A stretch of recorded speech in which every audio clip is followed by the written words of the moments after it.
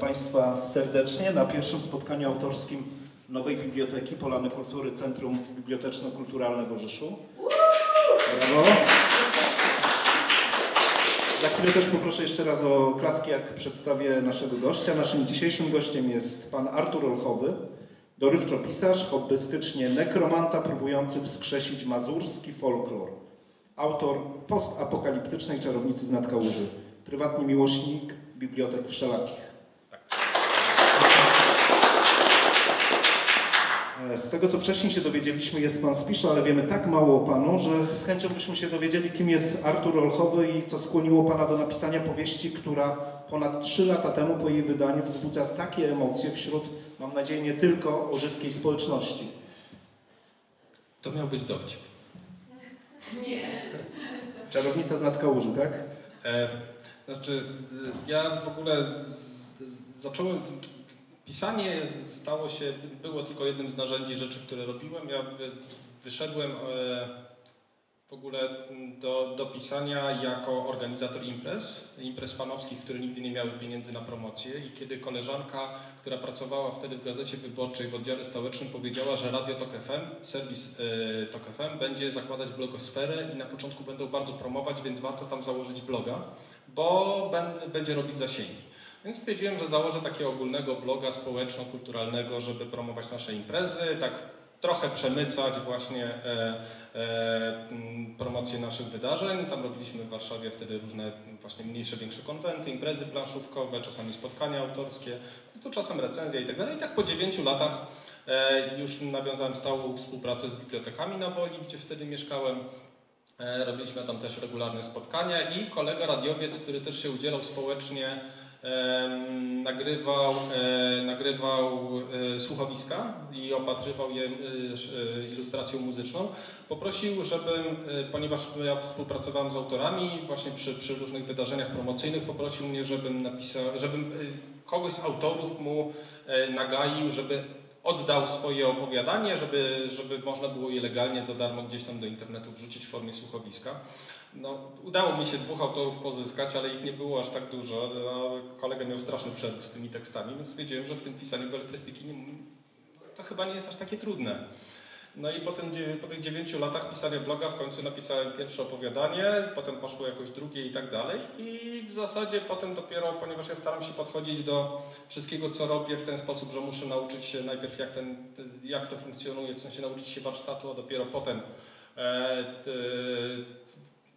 się, się realizować w tym obszarze, no to zacząłem po prostu intensywnie ćwiczyć, czyli w różnych gatunkach, różne formy, to czego nie umiałem, czyli e, jak mi koleżanka powiedziała, że ja absolutnie nie umiem mm, trzy budować napięcia, więc zacząłem pisać horrory i tak przez dwa lata pisałem horrory. Potem jak się okazało, że już umiem pisać horrory, to się okazało, że nie umiem scen akcji i zacząłem pisać takie różniejsze przygodówki właśnie po to, żeby skonfrontować się z tym, czego nie potrafię. No i w końcu, i my to robiliśmy jako fani mm, dosyć niszowych gatunków, zaczęliśmy, zaczynaliśmy od bizarro fiction, czyli to jest taki avant punk, to jest taki horror spod, horror spod Monty Pythona. E, e, I, e, i zaczyna, właśnie zacząłem w takim środowisku bizarro, my robiliśmy sobie antologię na zasadzie wybierzmy najbardziej oklepany temat, jaki wszystko o tym napisali, wszystko nagrali na ten temat, wszyscy to znają i napiszmy o tym inaczej. I tak zaczęło się od e, antologii o zombie. Kiedy już była nawet komedia romantyczna, młodzieżowa była o zombie, wszystko już było o zombie, to wtedy my się zebraliśmy i zaczęliśmy właśnie ci, którzy chcą tam debiutować kiedyś, zaczęliśmy tam sobie poprawiać wzajemnie te opowiadania, tam Łącznie potem chyba ponad 1 trzecia autorów w tamtej antologii darmowej się znalazła w papierze, czyli nie, nie całe przepadło. Potem to samo zrobiliśmy z wampirami, kiedy już wampiry były w zasadzie wszędzie, trzeba było lodówkę otworzyć.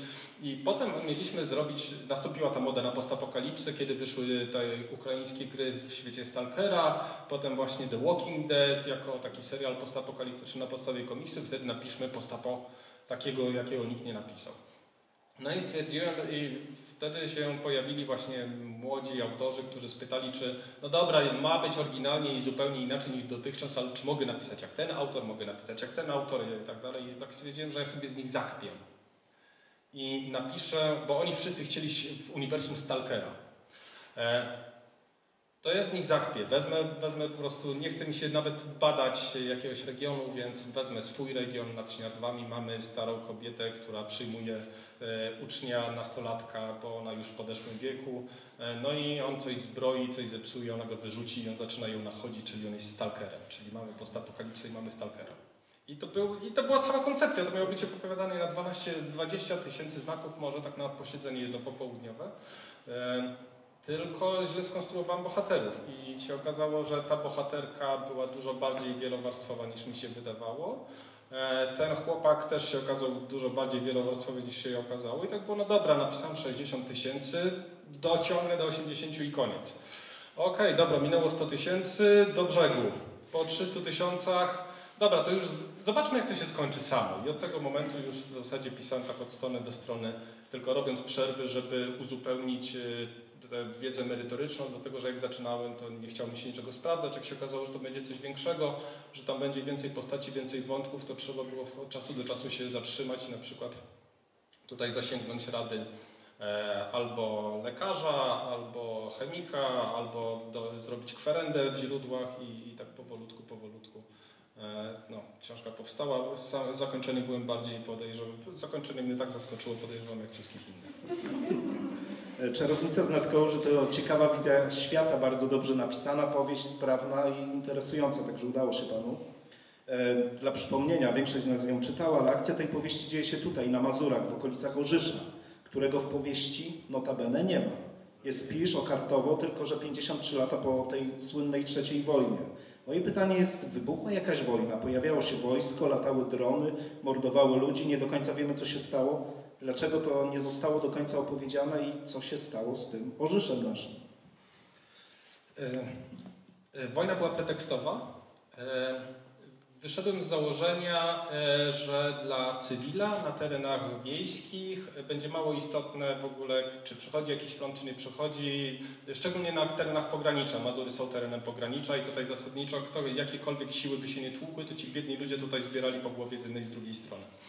E, więc e, uznałem, że jeżeli chcę opisać z perspektywy cywila to, w jaki sposób społeczność się będzie odbudowywała, to nie muszę wymyślać niczego nowego, dlatego że po bitwie zimowej w 1915 roku te wsie trzeba było odbudować tak samo jak e, społeczności musiały się jakoś odbudować, na nowo zaklimatyzować po II wojnie światowej po przejściu e, Armii Czerwonej.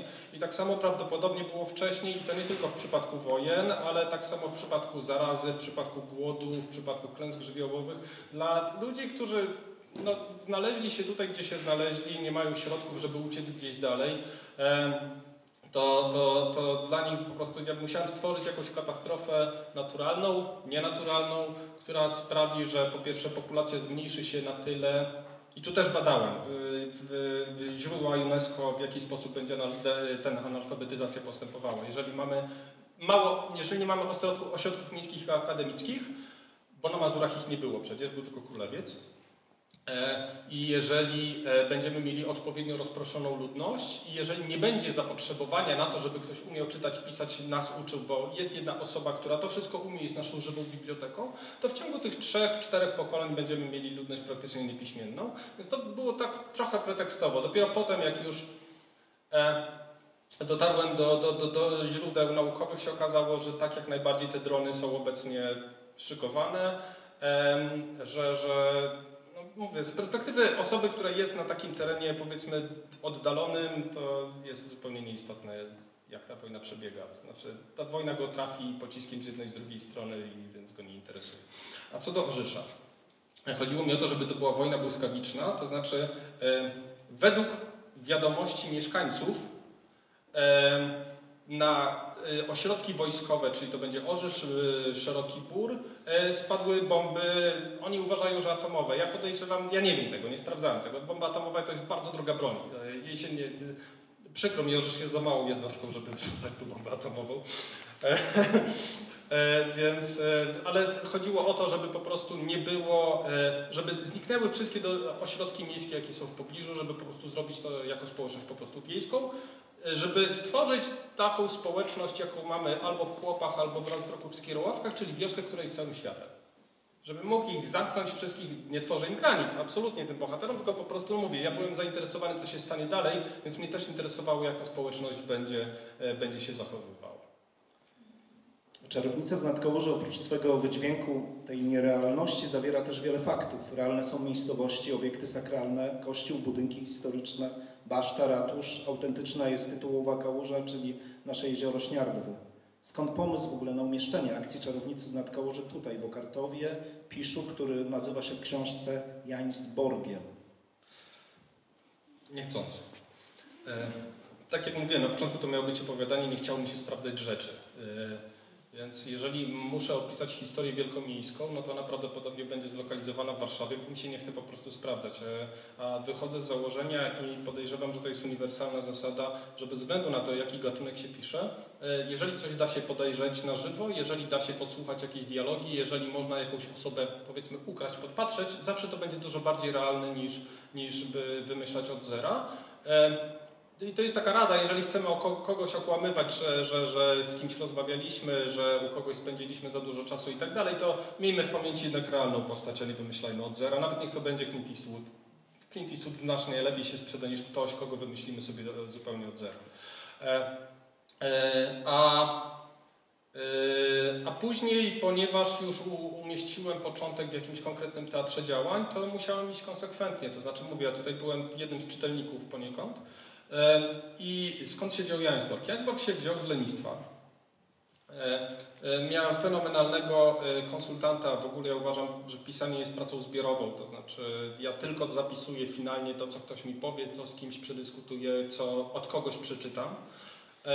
Więc kiedy e, znajomy historyk, e, który, z którym konsultowałem tę, tę, tę opowieść, E, spytał, dlaczego jest Jansborg, w sensie dlaczego jest ta nazwa właśnie zmazurzona, a nie niemiecka e, przedwojenna, co takiego się stało w tym mieście, to mm, wtedy właśnie wymyśliłem, że tam jest burmistrz, który ma hopla rekonstruktorskie i jemu się wydaje, że w ogóle, że, że, że, że należy przywrócić tę świetność miasta, którą uznał właśnie w okresach mniej więcej bismarckowskim, kiedy powstawał szpital, ratusz i tak dalej. I dlatego ta nazwa była. I to było zupełnie pretekstowe. Dopiero potem się okazało, jak już sprawdzałem właśnie, robiłem konkordancję e, mm, słów, które występują w tekście, się okazało, że Jansborg wystąpił wcześniej tylko w dwóch miejscach. Więc mogłem to zmienić w dwóch miejscach tylko na pisz i w ogóle druga część by nie była potrzebna. E, no ale skoro już ten burmistrz zaistniał, e, zresztą wzorowany na bardzo barwnej postaci, e, to, to trzeba było pociągnąć to dalej. Więc jak się pojawił już PiS jako, jako ten teren działania, to musiałem wybrać, które budynki przetrwają, no bo prawdopodobnie przetrwają, bo już raz im się udało. I, i, i wtedy już popłynąłem właśnie z taką pewną konwencją postapokalipsy jako gatunku, dlatego że postapokalipsa bardzo często, e, ona czytelnikowi zaspokaja bardzo, bardzo e, określone potrzeby, to znaczy my poniekąd jesteśmy w takiej sytuacji apokaliptycznej, to znaczy nagle przestają działać normalne zasady, nagle zasady się troszeczkę zmieniają, ten świat już nie jest tak zastały, e, taki jak, my, jak go zastaliśmy na co dzień, nie jest taki powszedni. Za, a w przypadku apokalipsy, czyli absolutnego końca świata cywilizacji i administracji, nagle nasze podatki są nieistotne. Nagle nie jest istotny poniedziałek, wtorek, środa, czwartek, piątek. Nagle nie musimy wstawać o tej godzinie. Nagle w ogóle nie musimy robić nic. Więc wszystkie nasze kredyty, wszystkie nasze zmartwienia i tak dalej, one odchodzą. E, dlatego postapokalipsa jest taka kusząca. E, ale ponieważ e, ponieważ zacząłem grać tym gatunkiem, to cywilizacja po apokalipsie, czyli czy to będzie właśnie pierwsza, druga, albo trzecia, którakolwiek wojna, to ona w pewnym momencie będzie się musiała naturalnie odbudowywać. Tyle, że ponieważ oni nie mają zasobów, bo nie mają odpowiedniej wiedzy, nie mają know-how, nie mają materiałów i tak to one będą, odbudowa będzie wyglądała karykaturalnie, bo oni będą udawali, że są takim światem, jaki był wcześniej, a, a tego się nie da. Znaczy, jak popatrzymy, w jaki sposób wyglądają uwspółcześnione historyczne budynki, to zawsze wygląda jak teatr. Zgadza się. Proza Olchowego to proza specyficzna. Jeśli szukacie literatury stricte rozrywkowej, to czarownica nie jest dla Was. Rozrywkę tam bowiem znajdziecie, ale doprawioną przyprawami, które niekoniecznie zniesie co słabsza czytelnicza głowa. Będzie tu zatem pewna mroczność, a nawet pomroczność, zabawa konwenansami, horror tkwiący korzeniami wiedzy wyciągniętej z zapomnianych bibliotek. Czytamy w recenzji Marcina Pawlewskiego. Czarownica z nadkałuży, post-apo, na jakie ludzie czekają, ale nie takie, jakiego oczekują. Z tej jakże pochlebnej recenzji Marcina Pawlewskiego nasuwa się pytanie, dlaczego zdecydował się Pan ze staruchy zrobić bohaterkę? Jakby nie patrzeć w powieści fantazy, w takim naszym popularnym myśleniu, to często kojarzą się czytelnikom z muskularnymi bohaterami, pięknymi władczyniami, światami pełnych magii, cudownych stworzeń. A co my dostajemy? Co dostaje czytelnik?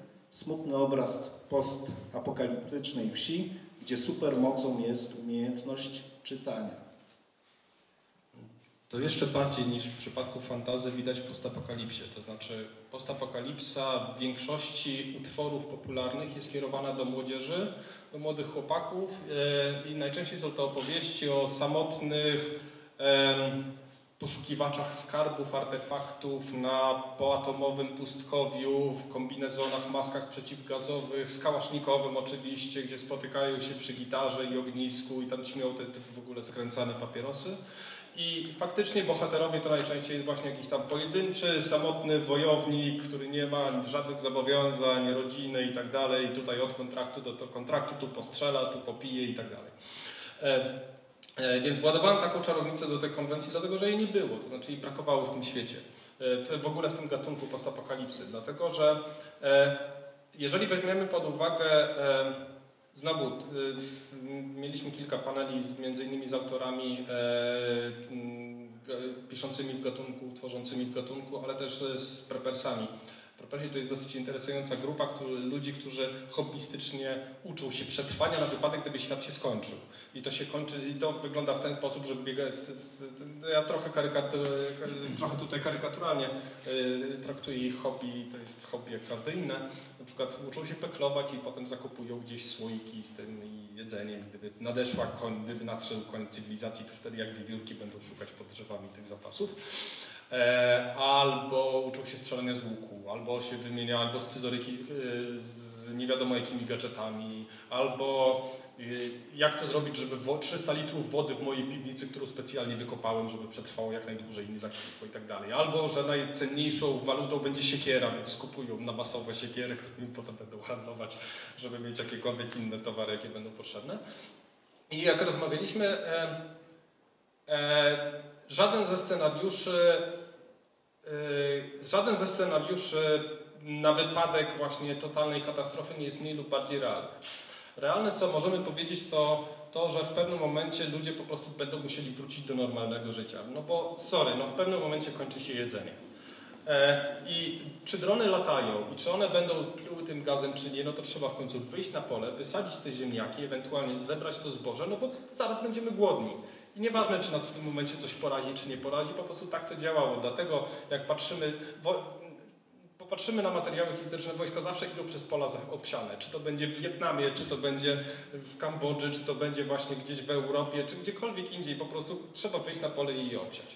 Więc uznałem, że w pewnym momencie e, osoba, która nie umie, właśnie to jest pierwsza, pierwsza cecha koślawej, Koślawa nie umie w rolnictwo, to znaczy ona jest antytalentem, ona by kaktusa zamordowała.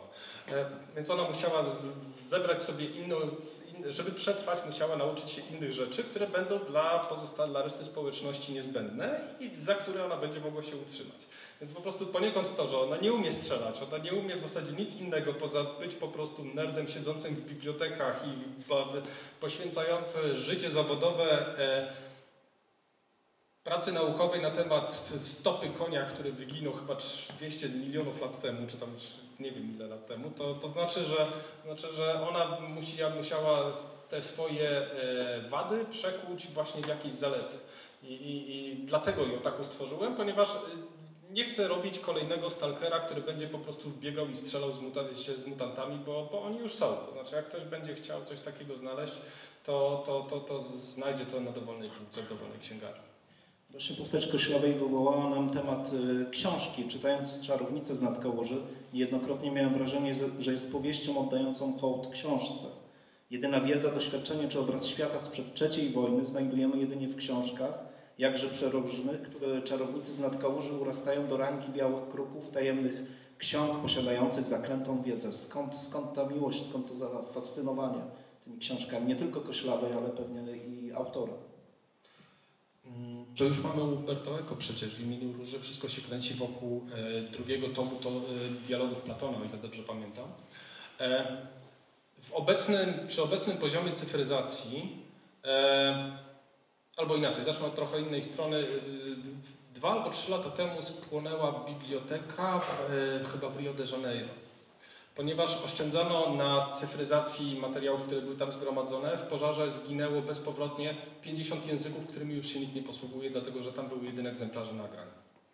E, więc analogowe materiały, które przechowują wiedzę e, poprzednich pokoleń, jednocześnie są najtrwalszym nośnikiem tej, tej, tej, tej wiedzy.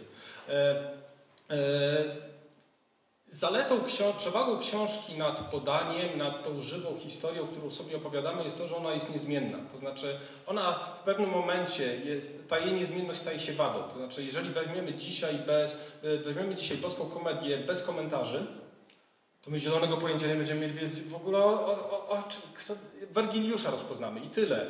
Ale cała reszta postaci, stronnictw, e, e, nawiązań, które się tam pojawią, e, będzie dla nas zupełnie, zupełnie, nie, zupełnie obce. E, W społeczności, która jeszcze pamięta, która ma jeszcze żywą, e, żywą historię, e, oni będą pamiętać początki wsi inaczej. Oni będą mityzować powoli powstawanie tej wsi, społeczności i tak dalej. Ale ta historia będzie żywa, natomiast ta historia, która jest niepotrzebna, ona musi, jeszcze przez jakiś czas będzie aktualna, ale będzie wymagała umiejętności czy za potrzeb trochę innych niż, niż właśnie historia żywa. Znaczy, mm, to w pierwszym tomie było jeszcze nie, nie bo ja to pisałem właśnie z marszu, z palca i nawet, nawet nie wiedziałem, co, co chciałem powiedzieć. W drugim tomie będę mieć to bardziej rozwinięte, e, właśnie to ścieranie się żywej historii z historią, która jest zapisana w książkach. To znaczy, e, Koślawa jest ostatnim elementem racjonalnym w tym świecie. Nie ma nikogo innego, kto, ona stara się, y, prosząc, zapraszając ucznia, przekazać tę część racjonalną naszą, która nas y, niejako definiuje. Nasz świat jest racjonalny. E, Znaczy, wydaje nam się. Wydaje nam się, że świat jest racjonalny. To znaczy, e, jeżeli, jeżeli widzimy znak drogowy, to ten znak drogowy coś konkretnego znaczy i my się do niego dostosowujemy. Jeżeli widzimy, że nie wiem, wchodzimy do budynku, to zakładamy, że ten budynek ktoś, kto ma odpowiednie wykształcenie, ktoś, kto ma odpowiednie e, e, przyrządy, metody e, badania, sprawdzi, czy ten budynek jest bez, bezpieczny. Nie, nasza wiara jest w to, że ktoś ma kompetencje. I w zasadzie Koślawa jest ostatnią osobą, co do której wszyscy wierzą, że ona ma kompetencje i to takie, że uważają, że ona czaruje. A ona jako jedyna się temu sprzeciwia, ponieważ ona wie, skąd jej kompetencje wynikają. Jej kompetencje wynikają z tego, że ona absolutnie w nic nie wierzy. Poza tymi książkami. E, Przy czym wiara, jej wiara w książki też jest absolutnie nieracjonalna. To znaczy, skąd ona wie? Jak bierze tę ten, książkę, zresztą ja, ja ją zgarnąłem chyba z, z mamie spółki, te choroby chust, co tam były. To była książka z lat 60. Ja nie wiem, czy, ta, te, te, czy rozwój medycyny weterynaryjnej przez 50 lat, czy nie poszedł tak daleko, że się okazuje, że niewykluczone, że tymi lekami, których ona nie odtworzy, to nie ma znaczenia. Ona nie byłaby w stanie te, te, tych chorób kus, y, wyleczyć, więc ona po prostu swoją wiarę w funkcjonowanie świata pokłada y, zupełnie w czymś innym. I, e, e, I to fetyszyzowanie książek wynika z tego, że to jest w zasadzie jedyna kotwica w, w, w Starym Świecie. Nie ma nic więcej, to znaczy ona, ona już y, nie ma nikogo, z kim ona może się podzielić Starym Światem. Nie ma niczego, z, kim, z, czym ona może się podzielić Starym Światem, tylko to, co, y, tylko, co, tylko to, co zostało w książkach. Więc to jest poniekąd jej fetysz. Ja nie wiem, czy ja się z nią zgadzam akurat w tym obszarze. To znaczy, y, mi się zdarzało, że y, do tej, do, do tej biblioteki na Woli, z którą współpracowałem, nadal współpracuję, jak czytelnicy znosili książki, to czasami jak tam się trafiały naprawdę strasznie, tam zdarza, zdarzały się materiały, ktoś przyniósł w ogóle jakieś wymysły antysemickie, jakieś tam mędrców Syjonu i tak dalej, no to ja to brałem i niosłem po prostu na makulaturę, nie? Żeby, żeby po prostu dziewczynom głowy nie zawracać. Więc ja nie fetyszyzuję książek, e, natomiast e, doskonale rozumiem, dlaczego osoba, która po Starym Świecie ma już tylko książki, e, dlaczego ona będzie tak, taką wiarę w nich pokładać. Właśnie dlatego, że wiarę we wszystko inne, czyli wiarę już w tę historię żywą, którą sobie przekazują z pokolenia na pokolenie bez weryfikacji, e, na zasadzie po jedzeniu nie wolno wchodzić do, do wody, bo, bo, bo skurcze. To jest nieprawda, oczywista. Natomiast wszyscy prawdopodobnie jesteśmy o tym przekonani, bo to jest żywa historia. E, E, cała reszta społeczności spokojnie ogarnia tę, tę pozostałą wiarę. Więc ma, mi chodziło właśnie o to, żeby zderzyć te dwa światy. E, to się będzie później zmieniać, dlatego że w drugim tomie, który jest pokolenie później, już naprawdę nie ma nikogo, kto by pamiętał świat przedwojenny. Więc tutaj te, ten świat mityczny i ten świat realny, one będą się dużo bardziej siłować ze sobą. Dziękuję bardzo, wyczerpująca odpowiedź. Kolejne pytanie chciałbym poprzedzić dwoma dla mnie dosyć ważnymi fragmentami z powieści, których w sumie nie spodziewałem się e, w powieści typu fantazy przeczytać. E, ci ludzie trafili tu z małych chatek, gdzie biedowali, a tutaj mogli przebierać duże domy, dużo ziemi, za nic dostawali bogactwa, o jakich nie marzyli. A wzięcie tych domów nie wymagało od nich wysiłku, więc nie czuli, się z tą nie czuli z tą ziemią żadnego związku. Eternit i świerk srebrzysty to były wyznaczniki bogactwa. Dlatego te miasta zawsze były martwe, bo ludzie nie mieli wspólnej przeszłości, bo każdy był przybłędą. Nie znali się i nie chcieli się poznać. Widziałeś, żeby ktoś chodził na spacery, rozmawiał z sąsiadami, spotykał się od tak po prostu, żeby powąchać bzy? W maju to chyba bzy, prawda? Wolą siedzieć w swoich domach i gapić się w telewizor. Mówię ci, jeżeli ludzie nie mają wspólnej historii, to nie powstanie społeczność, której by zależało na mieście, w którym żyją. I będzie taki syf, jaki tu widzisz w okolicy. Zawalone obory, bo Niemcy przyjdą, brudne ulice, bo Niemcy przyjdą. Tak naprawdę to jest zwykłe niechciejstwo. No i to wmawianie sobie, że to nie jest mój dom, że to cudze, a przecież o cudze się nie dba. I dla równowagi e, fragment z rozmowy koślawej z księdzem bodajże Markiem. E, uśmiechnął się. Ja miałem odwrotny problem. W tamtym czasie starałem się zapamiętać każdego parafianina, ale było to praktycznie niemożliwe przy tej liczbie i rotacji. Tutaj i teraz sprawa jest jasna. Znasz każdego, znasz jego problem zmartwienie, jest łatwiej. Może to jest część Bożego planu. Co, wybić wszystkich? spytałam zszokowana. Nie, skąd? zaprzeczył zdecydowanie. Umieścić nas w społeczności tak niedużej, że będziemy w stanie wszystkich poznać i wszystkim pomóc. Tworzymy całkiem niezły zespół. Razem możemy naprawdę dużo zrobić dla tej wioski i dla swojej satysfakcji. Nie uważasz? Te fragmenty to bardzo ciekawa, jakże popularna analiza społeczeństwa, która niejednokrotnie przytaczana była przez wielu opisywaczy powojennych obszarów Mazur czy też terenów odzyskanych. Jak według Pana wyglądają współczesne Mazury prawie 80 lat po II wojnie światowej i jak wygląda społeczeństwo Mazur Anno Domini 2021? Lepiej. Ten pierwszy, ten pierwszy fragment, który e, przeczytałeś, to jest cytat. E, ja jeździłem, e, dużo, dużo jeździłem po różnych wioskach, jeszcze w ogóle zanim napisałem powieść. Tak, trochę ciągnąc za język, nie wiem czy zauważyliście, jak długo jest trochę ciągnąc ludzi za język i e, tak w pewnym momencie, i to później to było, ta, ta, ta, ta rozmowa to było niejako podsumowanie moich obserwacji, dlatego że jeszcze w 2012-2013 roku, jak pytałem, dlaczego stawiają tutaj te wielkie, wielkie obory na tam 200, na 80, 100 sztuk bydła, a obok stoi jakiś tam chlebik, się rozwala i tak dalej, dlaczego tego nie, na, nie, nie, nie, nie naprawią, to będzie żaden koszt. No, no bo Niemcy wrócą i zabiorą. I, i, I to było tak żywe, to mnie tak niesamowicie uderzyło, gdzie e, dopiero później to sobie skonfrontowałem trochę e, z, z, e, z tym, jak ja wtedy akurat byłem na obozie żeglarskim, więc nie miałem takiej możliwości, ale jak przyjechali krewni z Niemiec i wtedy całą rodziną, mówię poza mną, wszyscy pojechali obejrzeć gospodarstwo w Skomentnie, w którym moi pradziadkowie przed wojną żyli. E, I tam akurat z tymi właścicielami, którzy te, te, po wojnie tam zamieszkali, e, e, z tego co wiem, to żyli na, na, na dobrej stopie, ale faktycznie wśród wielu osób, które, mm, znaczy, my mamy po wojnie w ogóle znajomy kiedyś bardzo dobrze to powiedział, że w ogóle Polacy mają, y, Polacy mają permanentny PTSD, bo mają nieprzepracowane tyle trupów w szafie, bez względu na to, czy popatrzymy, czy to będzie, y, czy to będą Łemkowie, czy to będzie Podkarpacie, czy to będzie Sądecczyzna, czy to będzie Śląsk, tak zwane ziemie odzyskane i tak dalej. Mamy mnóstwo rzeczy, które są nieprzepracowane i za każdym razem, kiedy ktoś wyjdzie i powie, wiecie, w sumie to byli nasi sąsiedzi, byli lepsi, gorsi i tak dalej, ale dobrze by było ich poznać. Za chwilę ktoś się rzuci hurdur, że tutaj rewizjonizm i zaraz będą oddawać, zaraz będą chcieli jakieś odszkodowania. I wydaje mi się, że E, Władowałem to trochę dlatego, że właśnie z tego względu, że ja mam dosyć unikalną perspektywę, to znaczy moja rodzina jest rodziną mazurską ze strony mamy.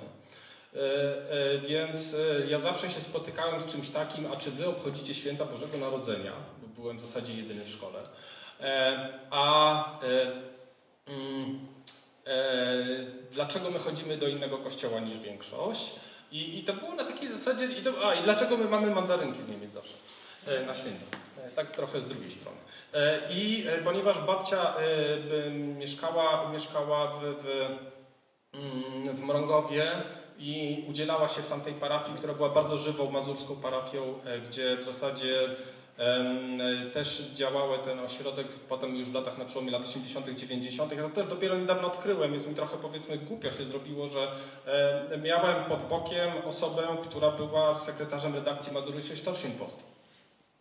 Co? Od, no, jak, jakaś gazetka po niemiecku. A ja byłem obrażony co, w ogóle na język niemiecki, dlatego że jak przyjeżdżałem do babci na wakacje, to nagle wszyscy wokół, cała parafia zapominała jak się mówi po polsku, bo babcia stwierdziła, że mnie nauczy. W ten sposób. I, i, i dlatego z dziadkiem chodziliśmy na dalekie, dalekie spacery, po to, żeby właśnie nie, cały, cały czas nie, nie szprechać od świtu do nocy. I ostatecznie tego niemieckiego się nie nauczyłem. E, Ale właśnie myślę, że dało mi to taką trochę unikalną perspektywę, żeby przegadać przy okazji książki, przegadać właśnie z kilkoma osobami i na przykład tutaj właśnie ta osoba, którą, której cytat tutaj władowałem, e, to była osoba, która przyjechała na Mazury w latach 60.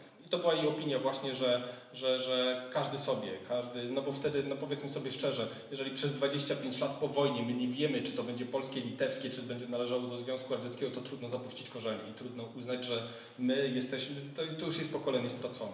Potem jak patrzymy na, e, w latach 70. mamy te masowe wyjazdy wtedy do RFN-u i nagle się okazuje, że mamy drugie pokolenie, które nie będzie, nie będzie tego przepracowywać ze sobą, nie będzie, nie będzie zacieśniać tych więzów, E, a potem w zasadzie mamy zmianę systemową, nagle otwarcie wszystkich granic i nagle wszyscy jesteśmy wioską globalną, a jeszcze nie mamy swojej tożsamości lokalnej. I, i, i, tak, tak, I wydawało mi się to właśnie o tyle ciekawe, że jak jeździłem właśnie po wioskach, to pytałem o jakieś, czy nie została jakaś bibuła gromadkarska gdzieś, tak żeby po prostu znaleźć jakieś tam książki, no powinny być mazurskie książki po niemiecku pisane szwabacho gdzieś na strychach, one tam gdzieś na pewno leżą. E, I dopóki nie udało mi się przełamać lodów na zasadzie, nie pojawiłem się w jednym, drugim gospodarstwie po raz czwarty, piąty i y, szósty, do tego czasu była w ogóle cisza. To znaczy, o co chodzi? Co to, co to za rezygnacji się pojawiają? A teraz przyjeżdżam i się okazuje, no, panie Arturze, udało się znaleźć bu- butelkę z browaru mazurskiego, piskiego, nie? Gdzieś tam na strychu leżała i mam taką właśnie butelkę przedwojenną z browaru Bejera, ale e, wydaje mi się, że właśnie też poniekąd takie wyciąganie tych drobnych, drobnych informacji e, daje nam e, mm, i zwiększa, oddalająca się perspektywa czasowa e, sprawia, że my zaczynamy trochę patrzeć na to tak jak, tak jak na jadźwingów w zasadzie. Nie? W sensie, no ile Mazurów mamy? 5 tysięcy, 10 tysięcy, wyjdzie w spisie powszechnym. Więc zasadniczo nie jest to już zagrożenie, w tym momencie możemy zacząć budować swoją nową tożsamość po prostu na tamtych grobach. Ale to mówię, ja się, tu się nie ma o co obrażać, to Mazury to mają akurat taką fajną, fajną przeszłość, że tutaj się przyjeżdżało na te tereny z Mazowsza, żeby wymrzeć w którejś zarazie albo wojnie, żeby ktoś nas zastąpił.